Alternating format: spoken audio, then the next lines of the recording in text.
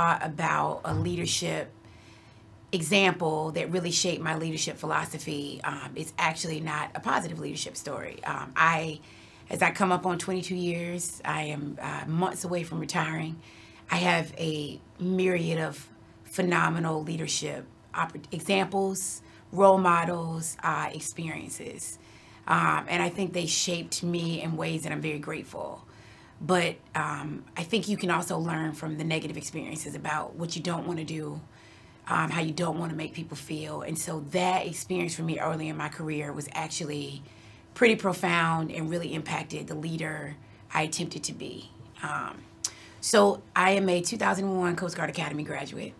Um, and if you recall, that means I graduated months before the September um, 11th uh, World Trade Center attacks.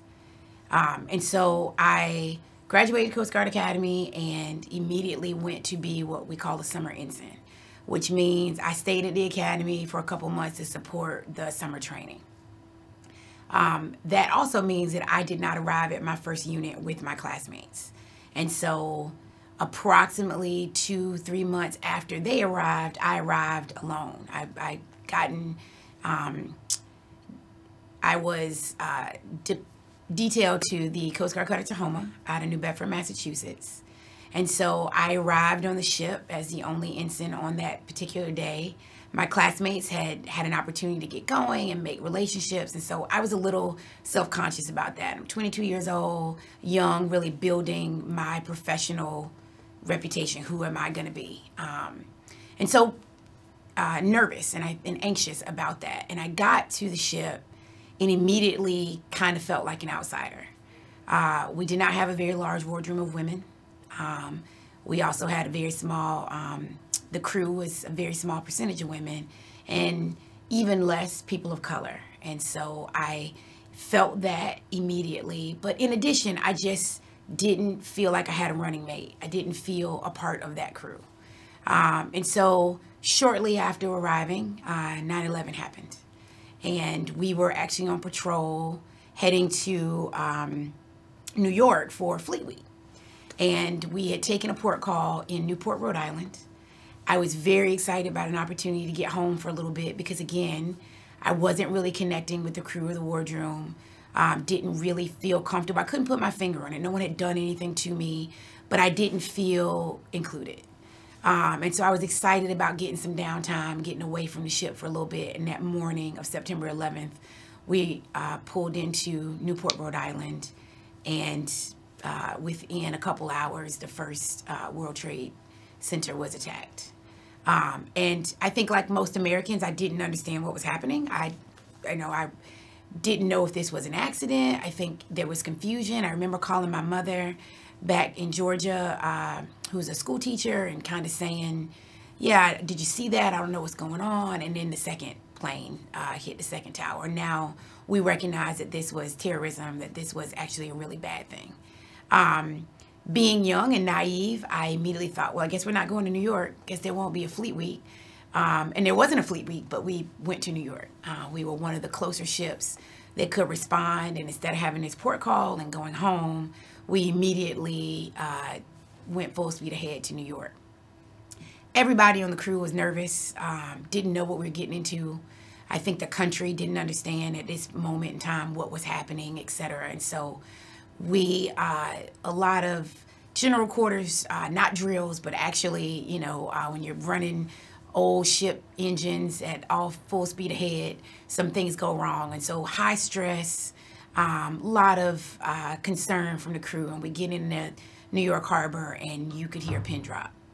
Um, there was smoke everywhere. There was this undeniable smell of burning metal, and just confusion about what is going on. And, and for the next couple months, it was really hard for all of us. And so you add to that that I did not feel a part of this crew. I didn't have a place to go with my emotions, about my concerns, about my fears.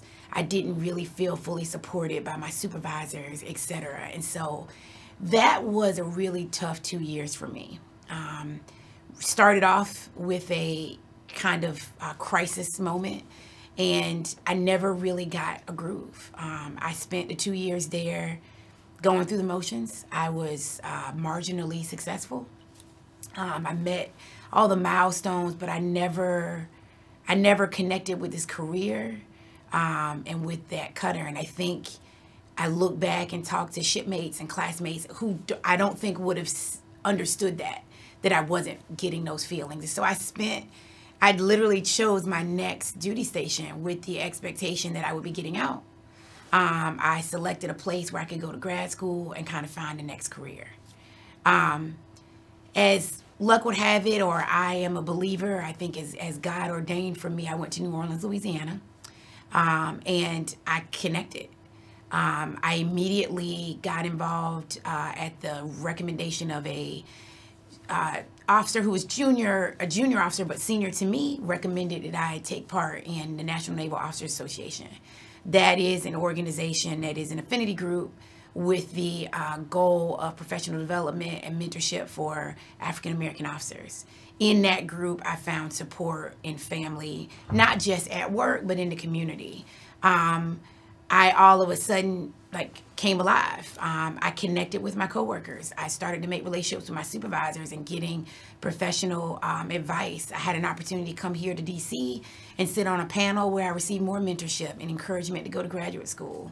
I went to graduate school on my off hours and got a degree. And the next thing you know, Hurricane Katrina hits.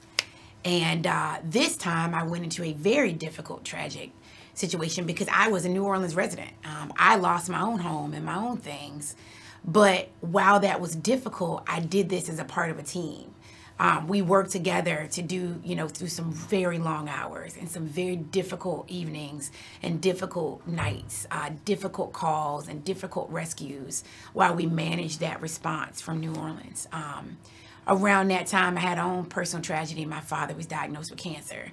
Um, so I was dealing with quite a bit. But again, I had a family and network of support in my coworkers and felt a part of my Coast Guard community.